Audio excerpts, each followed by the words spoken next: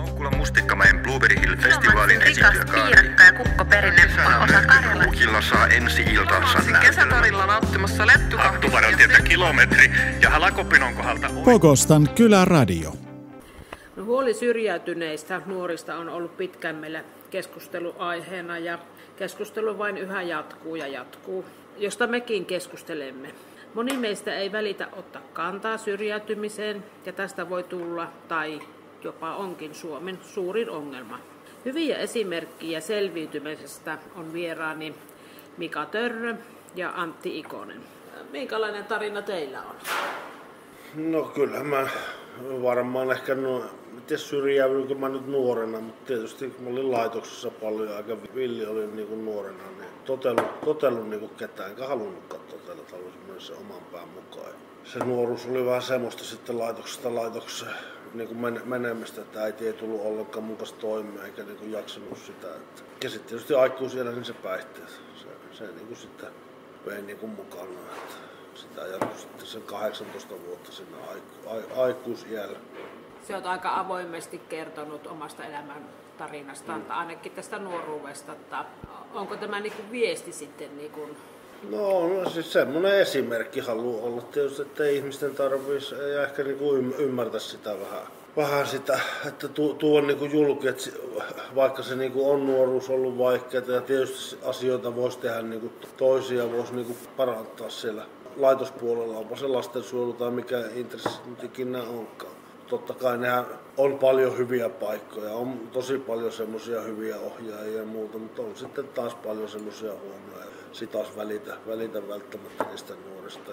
Eikä, eikä siihen varmaan ole tarpeeksi, tarpeeksi rahaakaan, että niitä kaikkia ongelmia niin ratkomaan, eikä se nyt varmaan ole mitenkään mahdollista. Mutta mä niin toivoisin varsinkin niin siinä nuoruudessa kuuntelisi sitä nuorta ja ohjatta sitä nuorta semmoiseen, mitä se niinku tykkää ja haluaa halu niinku tehdä. Että jokainen nuori ja, ja jokainen meistä on niin jossain hyvä ja mitä haluaa tehdä, vaikka sä et nuorena nyt välttämättä tiedä, mitä sä niinku haluat tehdä, mutta kokeilisi niitä juttuja, mikä on se, mikä se oma juttu ja menisi sitä kohti ja ohjattaisi niinku nuoria. Itse yritän tällä hetkellä niinku noiden salitreenien kanssa tehdä semmoista niinku ennaltaehkäisevää ja just sitä syrjäytymisen ehkäisemistä, että löytäisi niin kuin jonkun jutun siihen oma, omaan niin kuin arkeensa, onpa se sitten se puntti tai mikä tahansa, mutta että saisi niin kuin jotain semmoista kiintopistettä siihen mielekästä tekemistä, ettei niin kuin sitten, sitten taas jos se kaveriporukka on vaikka nuorillakin niin se se seura tekee hyvin paljon kaltaiseksi, että sitten ajautaan niin kuin väärin porukoihin,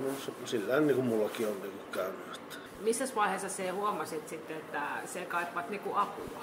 niin elämässä, no kyllähän siinä varmaan meni se 35 vuotta.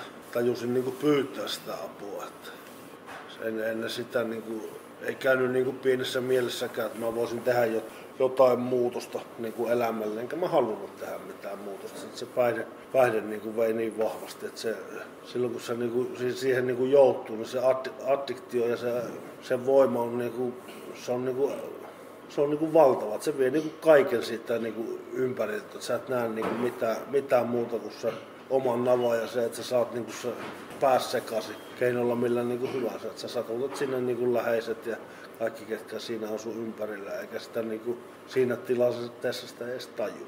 Antti Ikonen, sullakin on oma tarina. Kerrotko? Minullahan oli ihan hyvä, hyvä lapsuus ja parikymppiseksi meni kovaa ja korkealla tai niin kuin hyvin, että ei, ei niin kuin no kerran kuussa muisti pois 15-vuotiaasta, 13-vuotiaasta, mutta niin kuin aikuisena ne oikeastaan ne tuli ne varsinaiset syrjäytymiseen liittyvät ongelmat, että ehkä paremmin, että sitten jo dokas niin paljon ja eli omaa elämää, että sitten jäi vaan niin kuin pois kelkasta. Mutta tuossa tuli niin vahvasti kyllä ne asiat tuossa Mikan kertomuksessa puheessa, että tota, ei tuohon oikeastaan muuta pysty lisäämään kuin just sen, että niitä lapsia ja nuoria täytyy kuunnella, jos lähtee siitä pienestä lähtien se vinnoon kasvaminen tavallaan tai se vanhempien rooli on varmasti se, että ei lapsi jää yksin, yksin siinä kasvaessaan. Niin se on varmasti se tärkein homma. Ja aikuisetkin, että mm, meidän täytyy huomioida toinen toista enemmän. Sitä kai se lyhyesti on. Ja kuunnella onko niinku syrjäytymiselle niinku konkreettisia keinoja muuta kuin eihän pelkkä puhuminen riitä? täytyy ottaa mukaan. Pitää ottaa mukaan se homma, että eipä vierasta, että kysyy mitä kuuluu ja ottaa messiin sen tekemään nyt niin kuin just Mika sanoikin, että täytyy löytää se yhteinen tekeminen. Että Niin, Ja vaatii, vaatii tietysti, kun sä syrjäydyt, sulle tulee kaikki ongelmat, tulee niinku asunto, lasku- ja rahaongelmat, kaikki tämmöiset. Sä tarvit älyttömästi niinku tukea siinä, että se, se tietysti se, että sä pääset niinku jonkun avun piiriin, niin se olisi tärkeää, että sä että niinku osaa pyytää apua. Ja kyllä niinku löytyy yleensä semmoinen taho, joka niinku aina auttaa, jos niinku itse vaan haluaa muutosta tehdä. Et vaatii tietysti paljon niitä tukitoimia, jos on niinku syrjäytynyt. Että takaisin tavallaan niinku pois, tai niinku pääsisi niinku pois sieltä. No onko sitten niin kuin nuoren helppo päästä niin kuin avun piiriin? Vai vaatiiko se sitten niin kuin semmoista omaa tahtoa, että nyt ei ole kaikki okei? Se vähän riippuu tietysti minkä, minkä, minkä avun piiri. Että kyllähän nykyään, mitä mä oon kuullut, en tietysti tiedä, tiedä sen tarkemmin, mutta kyllä päihdehoitoihin niin on, ei ole nykyään niin kuin kovin helppo päästä. Että, että et pääse välttämättä silloin, kun sä haluat ja silloin, kun sä niinku, oot niinku heikoimmilla, sä, sä pyydät apua ja sitten sulle sanotaan, että okei, sä et nyt pääsekään. Se voi olla viimeinen, viimeinen niitti sille esimerkiksi nuorelle. Mullakin on yksi tämmöinen niinku tapaus. Se kävi pyytämässä apua 18-vuotias lapsi, joka oli ollut, niinku, tai nuori, joka oli ollut ikänsä laitoksissa, meni pyytää niinku apua. Sitten se tyrmättiin ja se ei saanut sitä apua, niin se ei päässyt niinku hoitoon. Niin se jotenkin se tuntui musta, että mit, mitähän se on ajatellut siellä, niinku, siellä, kun se on tehnyt sen päätöksen. Ja sitten nyt mä en tiedä, missä se nuori on. Ja eihän, eihän tuommoisen jälkeen sä et luota enää niin. Että minkä vitun takia mä pyydän apua, jos mä en sitä saa. Se tulee semmoinen niin kuin vastustus, tulee semmoinen auktoriteettiongelma. Pitää olla hirveästi sitä pelisilmää, ketkä tekee niitä päätöksiä. Se kumminkin siinä pelottaa ihmisen niin kuin hengellä. kyllä ihan selkeästi resurssit on aivan minimissä, että kyllä sinne pitäisi rahaa laittaa ihan eri tavalla. Ja ennen kaikkea se ihminen, joka ensimmäisenä ottaa sen vastaan, sen NS-asiakkaan, niin sillä pitäisi olla ne valtuudet tehdä siinä hetkessä ne päätökset. Että kyllä se niin kuin, tuosta pitäisi saada se byrokratia ihan täysin pois. Se maksaa niin kauheasti. Minä kun olin päihdehoidossa, minä maksoin yhteiskunnalle jo silloin, olikohan joku 5 tonni kuussa. Ja mitä minä olin maksanut yhteiskunnalle ennen sitä, kun minä 15 vuotta dokasin, enemmän tai vähemmän. Toki minä tein aina välillä duuniakin, mutta kyllä minä aika paljon tuhmuuksiakin siinä järkkäsin.